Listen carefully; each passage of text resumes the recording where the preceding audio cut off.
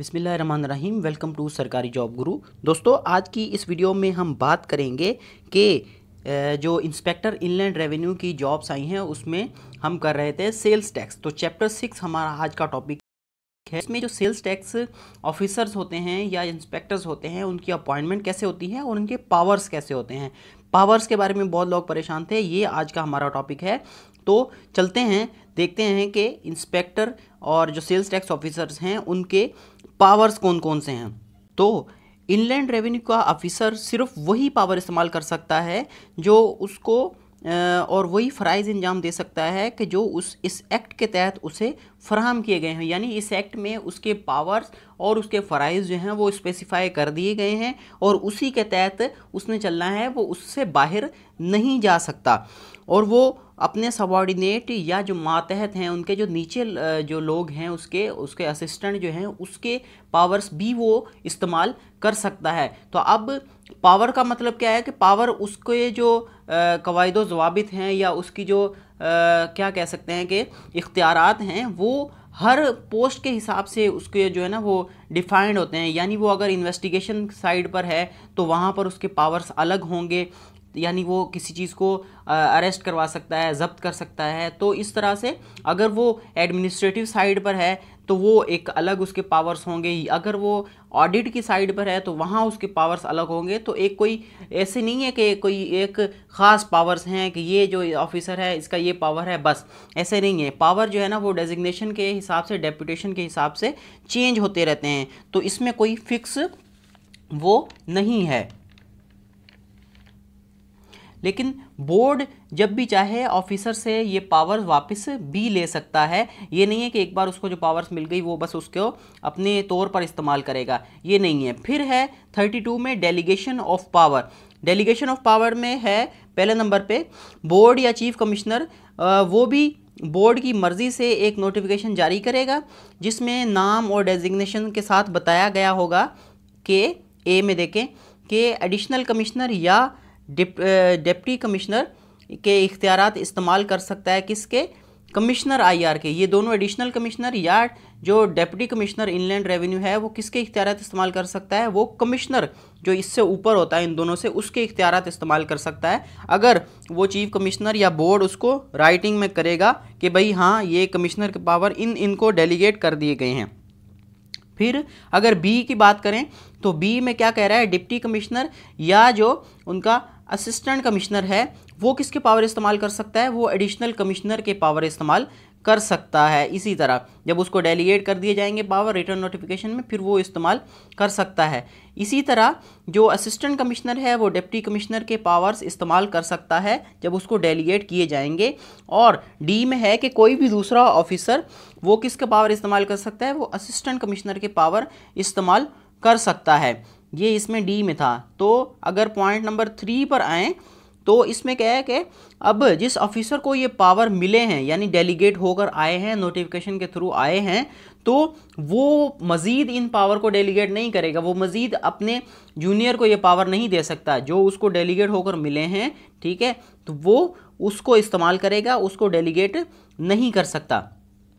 अब है appointment of authority appointment of authority का में ये है कि इस एक्ट यानी सेल्स टैक्स एक्ट के मकासद को पूरा करने के लिए बोर्ड कुछ ऑफिसर्स को अपॉइंट करेगा। यानी सेल्स टैक्स का जो एक्ट है, उसका जो काम करेंगे, उसके लिए बोर्ड कुछ ऑफिसर्स ज़ाहिर सी बात है, वो अपॉइंट कर सकता है। तो उसमें क्या है, एक चीफ कमिश्नर होगा इनलैंड रेवेन्यू का, और एक कमिश्नर होगा, और एक कमिश्नर इनलैंड रेवेन्यू अपील्स के लिए होगा, जो सेपरेट होगा, और एडिशनल कमिश्नर इनलैंड रेवेन्यू ये भी उस जो है वो इसमें बोर्ड में शामिल होगा। और फिर deputy commissioner inland revenue, district taxation officer inland revenue, assistant commissioner, assistant director, audit inland revenue, और इनलैंड ऑफिसर्स, फिर सुपरिटेंडेंट, और फिर इसी तरह ऑडिट ऑफिसर और इंस्पेक्टर और दूसरे ऑफिसर्स, ये इसका हिस्सा होंगे।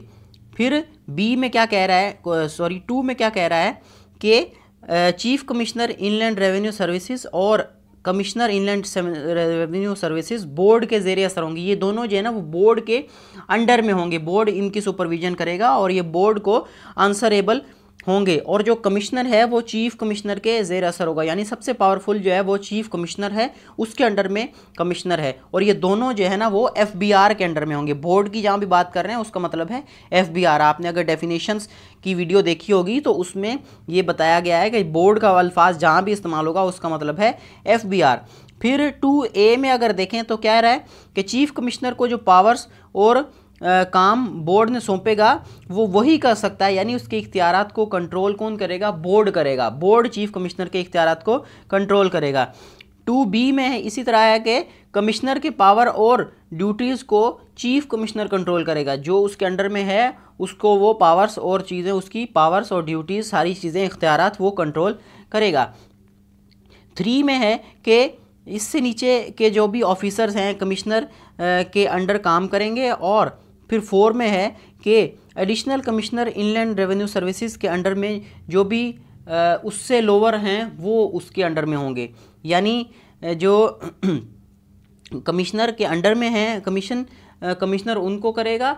और फिर अगर जो मिसाल के तौर पर जो डिप्टी कमिश्नर है या एडिशनल कमिश्नर है, उसके अंडर में जितने भी नीचे जो भी हैं, उनको वो कंट्रोल करेगा। यानी अब कमिश्नर ये नहीं है कि सारे ये ऑफिसर्स को जो है ना, वो डील कर रहा है इंस्पेक्टर से लेके असिस्टेंट कमिश्नर सब सब, सबसे वो बातचीत नहीं करेगा। वो सिर्फ़ टॉप लेवल की जो मैनेजमेंट है या जो एडमिनिस्ट्रेशन है, उनसे सिर्फ़ और सिर्फ़ बात करेगा और वही उसको जवाबदेह होंगी। बाकी जो है ना, वो लोअर वो जो चीज़ हैं, वो डील करेंगे उस चीज़ को। आगे अगर थर्टी ए में आए तो ये क्या है कि director general intelligence and investigation inland revenue अब ये क्या होता है डायरेक्टर जनरल इनलैंड रेवेन्यू तो इसमें क्या है?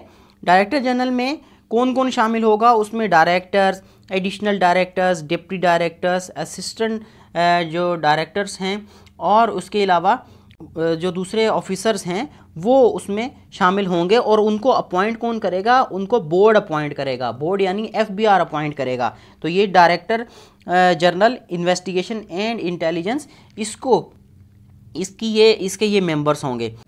फिर थर्टी बी में डायरेक्टर जनरल इंटरनल ऑडिट तो इसमें कौन कौन से होंगे? इसमें जो ऑफिसर्स होंगे, वो होंगे डायरेक्टर जनरल यानी जो डायरेक्टर्स हैं ये additional directors deputy director assistant directors और दूसरे जितने भी ऑफिसर जिनको बोर्ड अपॉइंट करेगा, वो इसके मेंबर्स होंगे। और इसी तरह थर्टी सी की अगर बात करें, यानी directorate general training and research तो इसमें कौन कौन से होंगे?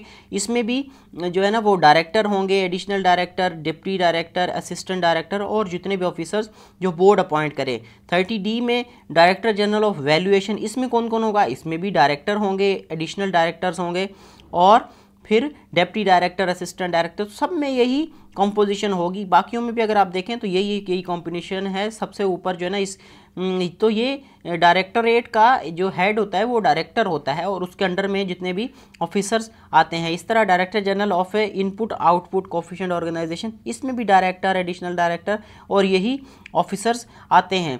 And powers and function of directorate power of function में क्या है कि इनके पावर और फ्राइज बोर्ड तय करेगा, जिसके लिए वो नोटिफिकेशन जारी करता है सेपरेटली कि हाँ भाई ये ये इस डायरेक्टरेट के पावर हैं, इसके बाहर ये नहीं जा सकते। तो उम्मीद करते हैं कि ये पावर्स और अपॉइंटमेंट की वीडियो आपको पसंद आई होगी। इसके बाद भी हम और भी ज़्यादा वीडियोस में बनाऊँगा। नेक्स्ट वीडियो आप देख सकते हैं कि इंटरनल ऑडिट पैनल या स्पेशल ऑडिट पैनल वो क्या होता है, वो उसके वीडियो ये ऊपर आप लिंक को आपको नज़र आ रहा होगा। तो ये भी इसको विज़िट करें और हमारे चैनल को ज़रूर सब्सक्राइब करें। Thank you